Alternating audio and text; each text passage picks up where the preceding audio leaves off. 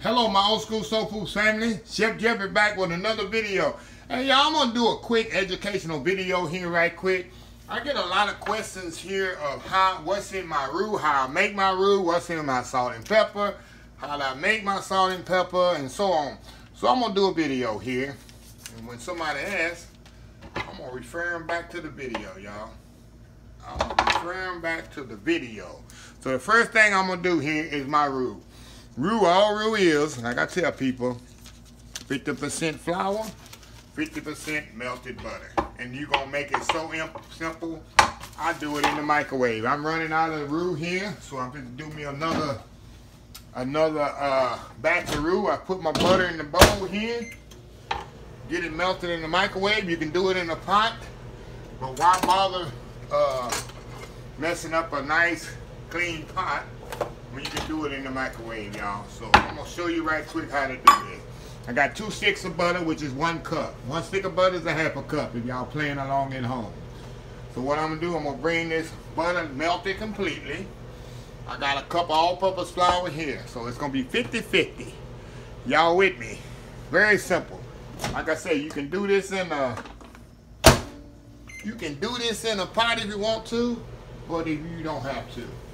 And I always have roux. That's two things, essential things I make a big batch of when I do it. I always have roux and I always have uh, salt and pepper mix when I'm cooking. So, uh, so when it's time to thicken something, I just pull it out the, pull it out and use it. A little bit more, y'all. A little bit more for it melt. And the salt and pepper too. Salt and pepper, y'all see I'm running low on here, right here. So it's time to make another batch. And I'm gonna get to that in just a second. We're gonna get the roux made first. Make sure this butter is melted completely.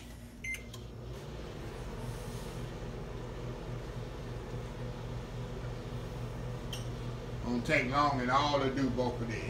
So, I mean, we not do roux is when to make a big batch of it, because if you use roux as much as I do and cook as much as I do, it's better than having to make roux every time you need it. Okay, I got the butter here. I'm to move it around here just to make sure it's good and melted.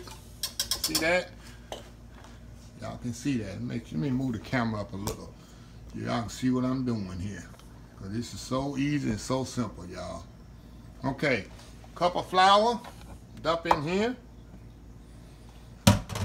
All I'm gonna do, y'all, mix this up. Mix this up right here. Make sure it's really smooth. Turn up really smooth, y'all. Now, if I'm making like a gumbo or something like that, of course, I put it on the stove. And uh, put it on the stove and let it get darker. Okay, now I got my bowl here. And all I do, y'all, just put in my little bowl. My bowl right here. Put in the refrigerator. It can stay in the refrigerator for weeks on weeks and weeks and weeks. Of course, it don't last that long because I use a lot of roux. Put my top on it. I got roux whenever I need it. That's done. Now, salt and pepper. Okay, this is a funny one here. I always use, always when I buy kosher salt, I buy the big boxes. Because I always, uh, I like to use a Morton too.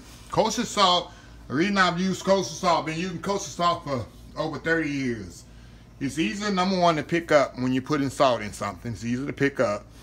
Also, a little goes a long way. Other than iodines, iodines, how do you say that? Table salt, I call it.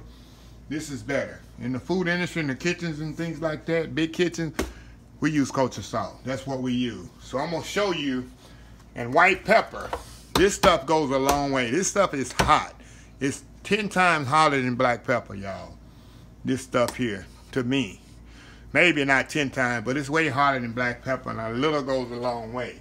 So what I'm gonna do, I do a four to one. Four parts of salt to one part of uh, white pepper. So what I do, put a cup, two, this is gonna be two cups. I'm making a lot as you can see. So I'm gonna do two cups of, uh, so if I'm doing one cup, that's a quarter of a cup of white pepper. So I'm doing two cups, so that's a half a cup of white pepper I'm gonna put in here. So I'm gonna fill this two cup up. And I usually, this here usually lasts me about a month of cooking, y'all. You have to do this about once a month. Usually the first of the month, I fill my salt, salt and pepper back up. Okay. Now, now the pepper.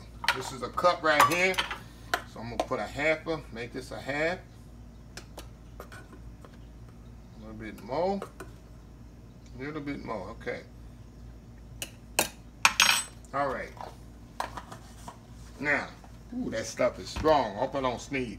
Hold that in there. Fact, let me get a big bowl here, mix it right.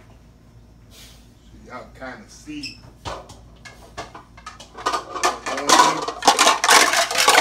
I'm gonna make myself sneeze in here. Okay. All the salt in there, pepper in there. Take a spoon here. Just mix it up, y'all.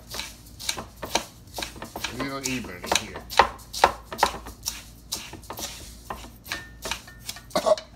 Yeah. Trying to not make myself sneeze. ah. It's very potent. You can use less of salt as you want. Matter of fact, I'm gonna use the rest of the salt that's in this box here, y'all. This is a little left in here. I'm gonna try to fill up my container. Since I had some already in there, I'll make sure it's even. I had some already in there. Okay. That's pretty much it, y'all. Now, salt and white pepper. And what I do, I just pour it back into my container here. Fill it back up. Yeah. There we go. Now, white pepper and salt. Whenever I need it, I have it. Roux, salt and white pepper. Very simple. I do this about once a month. Once a month I'll do this. And I'll put it aside. That's why you see when I'm cooking, I'm very organized. I have stuff already ready and ready to go. So let's reiterate. Ooh, I said that in good without screwing up. Roux. 50% of melted butter, 50% of all-purpose flour, melt the butter, put the flour in it, mix it up till it's smooth, put it in a container, airtight container, put it in the refrigerator. Sometimes, if I know I'm doing a lot of cooking that day, I'll leave it out on the counter because it's easy to work with as it come room temperature, of course. As you know, butter is better working room temperature. Salt and pepper, I always keep over here. When I need it, open it up, airtight container, put a little salt and pepper in there, voila, it's running. I always use a uh, airtight container. So, yeah, very simple, very easy, y'all. Just wanted y'all to know this little video, educational video here, how I make my salt and white pepper, what are the measurements in it, and my rules. So anyway, if you like this little video, please give it a thumbs up, please share, please comment, please subscribe, please follow my other social media accounts, Facebook, YouTube, Instagram, Twitter, Twitch TV, Pinterest, and old school soul, oldschoolsoulfood.com. Remember the hashtag this year, help somebody, Old School Soul Food. Until next time, have a blessed Old School Soul Food day, and I'll see y'all in the next video. Love y'all. Bye.